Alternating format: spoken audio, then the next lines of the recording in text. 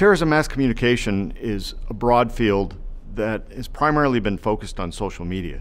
In my previous uh, responsibility as a special agent with the FBI, I used to run a group that did social media and open source investigations.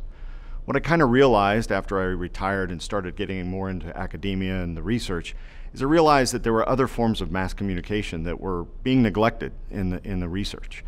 So we started examining different things that began to look at things beyond social media. Ways that terrorist groups can communicate to groups either targeted or untargeted. The terrorist group Al Qaeda uses Inspire magazine. That is a form of communication. They use that to push their agenda and ideology.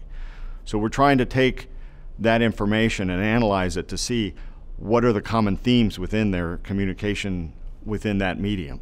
There's 16 different issues of Inspire magazine. Are there significant changes in the text? Is there something there that we can draw out of? Why, why did it change? We, we don't know yet. Nobody's ever really looked at that. I'm working with a student from the doctoral program who's also interested in terrorist communication and analyzing terrorist groups and I brought her on as a research assistant to help me organize the data and develop a research agenda. We're attempting to show the, the applicability of multidisciplinary approaches, technical tools, and to see where it leads us. There's a lot of other data sets that this could be applied to if it's effective.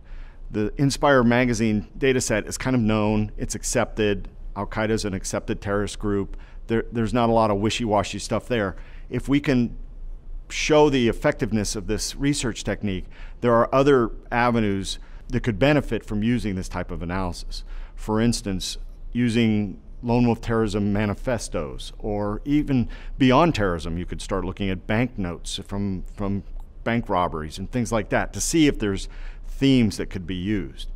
If I had a grand vision, I would love to see five years from now an institute of multidisciplinary approaches to terrorism where we would pull from other disciplines to try and solve some of these problems to understand, mitigate, and stop terrorist attacks.